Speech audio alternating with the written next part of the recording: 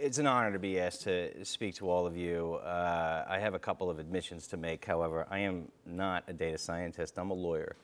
Um, so that's one reason you're not going to want to hug me anyway. Uh, more to the point, uh, I'm a former prosecutor. I started my career here in Manhattan with the Manhattan District Attorney's Office. And I run a team of data scientists. Uh, collectively, their ages are all younger than the belt I'm wearing uh, right now. Uh, but they're fantastic. And what we do uh, in the skunk works that I've built uh, out of the mayor's office is take all of the massive amounts of information that we as a city collect about our businesses and locations and use that to allocate our resources more effectively.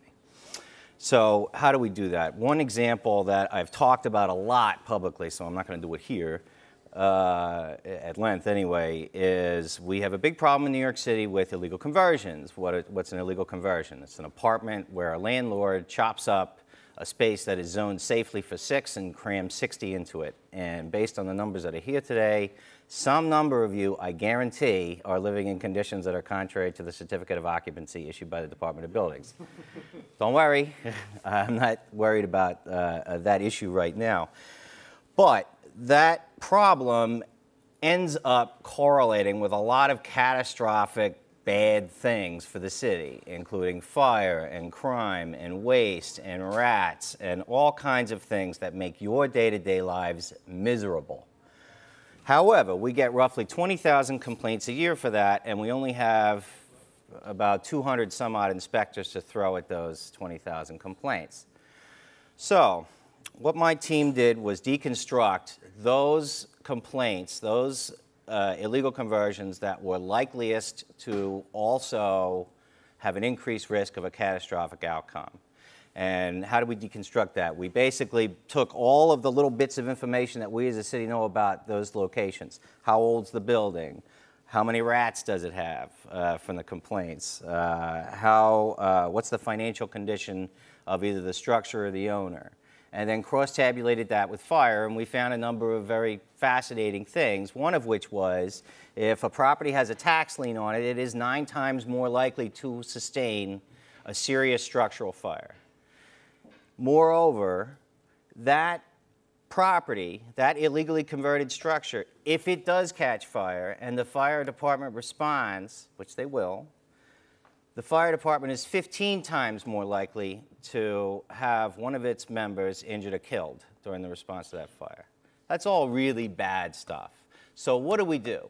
We rank them. We take those 20,000, we find the 5% that rest within our historic profile, and then send them back out to those 200 inspectors to go to first. And it's been extraordinarily effective.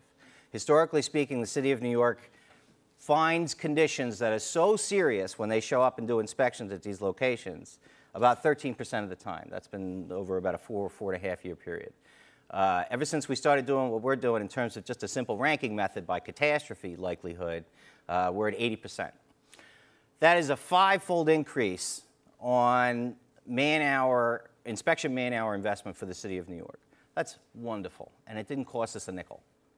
Those five kids I was talking about that were younger than my belt, they came up with it. And they came up with it not on any really sophisticated machines. We started out using Microsoft Excel. We graduated to SQL about six months ago. Uh, and now we have uh, some assistance from some, uh, some of the sponsors here today, uh, including Palantir. But so that we can do it more broadly. But the fact of the matter is it's been extraordinarily effective. Moreover, it's been implemented. That's what we do. We implement. We are the get shit done people. So it's not just looking at the problem. I go back out to the agencies because I work directly for the most powerful mayor, I think, in the country, and tell them we need to be doing this. But I don't do it in a way that's like iron fisted pounding the table. You guys got to start doing this. I do it in a way that makes sense to them economically to do. The Department of Buildings is thrilled that they've got a five-fold increase on uh, uh, man-hour return. The fire department is thrilled that we're going to the places and preventing fires where their people get injured and killed. The police department likes it because a, these illegal conversions also co uh, correlate with a lot of crime. The Department of Health likes it because these places generate rats. So all of this makes sense economically to our agencies, and it's all done simply through the data science uh, approaches that all of you take day to day. So that ramble uh, is the kickoff point. I'm going to go to something decidedly less sexy grease disposal. so we have 25,000 restaurants that are registered with the Department of Health. Those letter grades in the window are generated by a city agency. Letter grades that the restaurateurs despise, but what they tell you is whether or not it's safe to eat there. Now, pretty much every restaurant in town has those uh, little fry buckets, right? Where you put the fries in, it goes into the fryer, it bubbles up, whatever. That generates yellow grease. That yellow grease is supposed to be disposed of a certain way. When it is not disposed of a certain way, it causes us problems across the board. DEP is the Department of Environmental Protection. It's kind of our fancy word for the water department. They make sure that the pipes run, that they don't burst, and that the water that you pour out of your tap is drinkable. Uh, when you dump grease into the sewer or improperly anywhere, it backs that up and it impacts us as a city. BIC, the Business Integrity Commission, uh, it's one of my favorite little agencies that nobody knows about. Uh, historically speaking, New York City, surprise, has organized crime issues in its waste hauling industry. So the Business Integrity Commission, so the Business Integrity Commission is set up specifically to make sure that private waste haulers are not, you know, in the Sopranos. Uh, how do they do that? BIC only services those waste haulers. Um, so, so we got two waste haulers, I'm sorry. We have the Department of Sanitation of New York, also known as Disney, hilariously enough. and then we have the Business Integrity Commission. Disney services residents. So getting back to where you live and why it's important, if your place is zoned residential, Disney will serve you. If you are living in Bushwick in a converted industrial building, you've got to go to BIC which means you, are going to a private waste hauler that's registered with BIC. So I know, as a city, about them. That problem, however, is that not everybody registers with BIC. So, you know, when somebody's dumping grease, however, that's who BIC would go to. BIC deals with restaurants, not residents, right?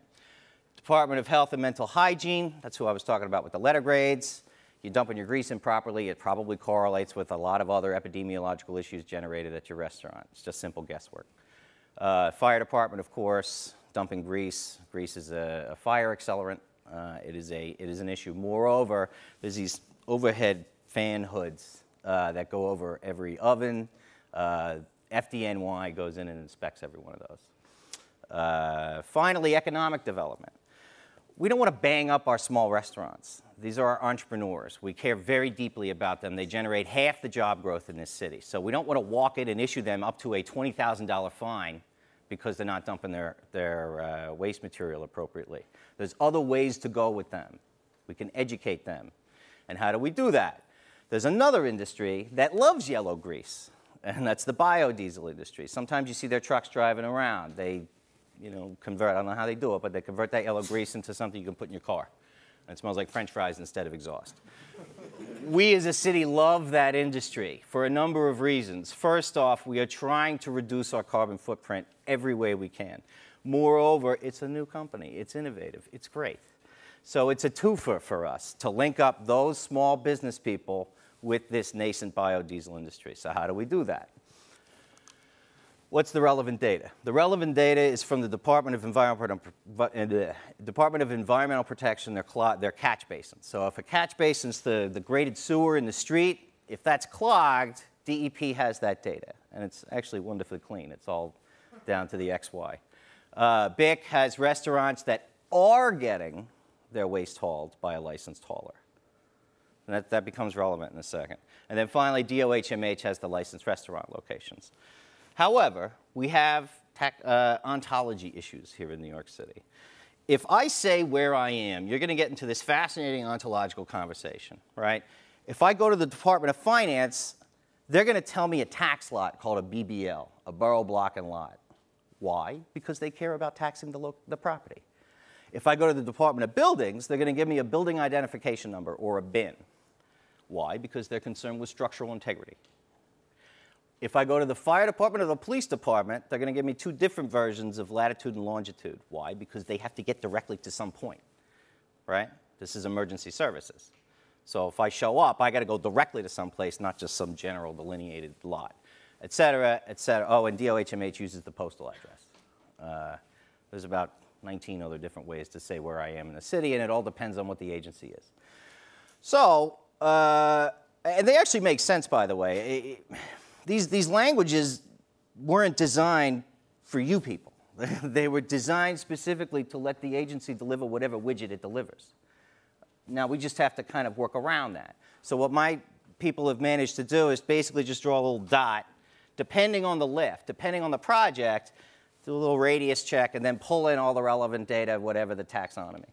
So that's how we tie this together. So this is a heat map of BIC grease pickups. This is where we know there are registrations. And those registrations are reporting this much gallonage. Manhattan, unsurprisingly, because it's got the most restaurants, has the highest gallonage of legitimate biodiesel disposal. Staten Island has the lowest. But that is not the whole picture, and is not how we would go about allocating our resources. And by resources, what do I mean? So you've got BIC inspectors who are going to go out and check those stickers on the window that they're supposed to have saying that they, they went with a waste hauler. You've got DEP inspectors who will go out to the catch basins and make sure that they're not clogged and then find out who in the area is clogging them. And then you've got DOHMH and FDNY, et cetera, who are supposed to go in and make sure that the restaurant itself is doing what it's supposed to be doing. But uh, all of those entities have a limited number of people, and we got to send them where the problems are. If we send them just scattershot, we're looking at, you know, this colossus of New York City, and it just becomes some random mess with a bad ROI. We're, uh, my job is to up their ROI. So this is just the big grease pickups. This is DOHMH restaurant locations. Again, Manhattan has the greatest density of restaurants, Staten Island the lowest. So it's just part of the picture. What becomes relevant for us is when we marry it all up. Those little black triangles are clogged manholes, clogged catch basins. So you can see that restaurants with no registered waste hauler, right? So they would be, wait, why is this not happening? There we go. So they would be the uh, restaurants that end up showing up in the blue, right? Because we don't know about them. It's the dog that didn't bark, right?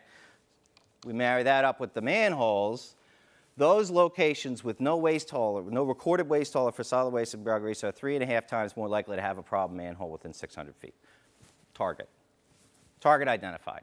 So now I have a rhyme or reason to send our people where they need to go. I do not need, mean to pick on these three restaurants, by the way. I go to this one, the Dim Sum Go Go, uh, pretty much every other day, which explains my physical condition. But the highlighted part at the bottom there, that's a catch basin. And then over there are the restaurants. Those three, this is Chinatown. So it's right next to City Hall.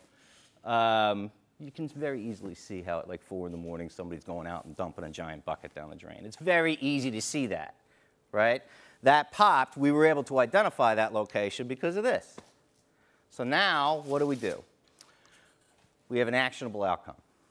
That actionable outcome is we have an initial target list of restaurants within 150 feet of problematic manholes for joint Business Integrity Commission and Department of Environmental Protection inspection. Joint inspection, by the way, is a rare event and it's a kind of a pain in the ass because you're talking about two entities that don't normally work together having them work together. It's doable, but it's rare. What's better is complementary action. Complementary action is DEP goes out on its own time and checks out which manholes are going to be problematic and where the problem is. BIC does the same thing, but they're working towards the same common goal, which is combating yellow grease okay? that's much more doable. They don't have to work together, uh, but they can work in ways that are not conflicting. Um, so we have the target list. DEP and BIC have been going out. Their success rate varyingly for, uh, and by success I mean they go out to a location, they find a condition, they hit somebody up uh, with a citation or whatever, or rectify the situation. For each agency, it's anywhere between 15 and 30 percent, depending on the, the, the location. The places we sent them to was 95 percent hit rate. So that's a wonderful return for the city of New York at no cost to all of you who are our lovely taxpayers. Uh, interestingly enough, it expands as you expand the radius. No surprise there. There's more restaurants that get sucked in the larger you make the, the circle. The really fascinating thing for me, though, is that last bit. What this also does is that instead of going into the restaurants and saying, you know, here's your $25,000 fine, thank you, thanks for playing, and then leaving, believe it or not, we are not in this to generate revenue. We generate revenue in other ways. We generate revenue much better by taxation. So what we tried to do instead was sit down with the restaurants with a list of registered biodiesel companies and say, stop dumping your money down the drain. These people will pay you to pick this up. It's not going to cost you anything. Knock it off, right? Uh, they were very happy, and it didn't. so they didn't. They did. You know, we didn't cost them anything. We didn't go in and say, "Here's your twenty-five thousand dollar fine." Instead, we generated revenue for them. Okay, that revenue goes back into the location. They serve the citizens of New York better, and it doesn't cost the city a nickel. This is all great. These are wins, win, wins for all of us. So I'm going to go back to something I think is a little sexier. Um, those projects, we have about anywhere between 40 and 60 different projects like this going on at any given time. It sounds like a ton, but the reality is many of the, the, same data sets come into play over and over and over again for us. So this is just a basic GIF file of EMS runs uh, within the city of New York. EMS, the FDNY runs the ambulance services. We get 45,000 911 calls a day. Uh, about 20 to 25,000 of those involve ambulance runs for any number of things, ranging from heart attack and choke, which is the highest level, means they got to get out there right away, all the way down to somebody claiming that their air conditioner is busted and they want some help. That happens, okay? We have, at any given moment, 300 ambulances under our control. That's not the universe of ambulances, by the way. Hospitals have their own ambulances. There's an Orthodox Jewish service uh, called Hatzalah that also runs in certain locations. Um, but the universe of ambulances that we as a city control that a taxpayer funded is about 300 at any given time. They are pre-deployed around the city, right? By pre-deployed, I mean they're not sitting at the firehouse. The firehouse has to have one of them sitting there, but there's another one out and about within the fire precinct just in case, at all hours, idling, sitting there, reading comic books, whatever, getting ready to go. So, however, uh, it seemed that random that the, that where they sit and park had no rhyme or reason to where the concentration of emergency calls were coming from. So uh, Fire Commissioner Cassano asked my group to, and in part thanks to the work we were doing for illegal conversions, to take a look at the problem. And we were taking a look and we started, a lot of it involves field work. So we go out into the field and talk to the ambulance drivers. So first we take a look at the data and see what it sees and whether and who we should talk to and where we should, we should uh, focus our efforts. And then we went out and talked to the ambulance drivers, and finally it, it, appeared to all of our group, it's like, this doesn't seem to have any rhyme or reason where you guys go. It seems to change, like where you park. And, and they were all like, it all depends on where the coffee shop is. Because, and that makes sense, right? So you're sitting there in an ambulance for like five hours waiting for your turn to go. You would like to be near a bathroom and coffee. And that is a legitimate thing. That's reality. So instead of just sitting there and coming up with a map and then saying, you know, perfectly speaking, we expect our high problems broken down by temperature and day of the week and, you know, whatever, and we'll, we'll park it there. It, they'll just tell us to go to hell. They won't do it, you know? But if we put them next to a 24-hour coffee shop, then we win. They'll want to be there. So what we did is we just did the same thing, draw a simple radius, folded in that DOHMH data I was telling you about at the beginning of this presentation. And so long as there's a 24-hour location that's still closer to where we expect the really bad stuff to happen, then we shave up to a minute off of our response times to the citizenry of this town that is sustaining a heart attack or a stroke. That's awesome. And that's all because we used our data more effectively. So, uh, I mean, I love my job. It should be apparent. But the reality is we're enabled to do it because of the work that all of you do. We're deeply appreciative, uh, and we're always looking for help. So uh, thanks very much for your time.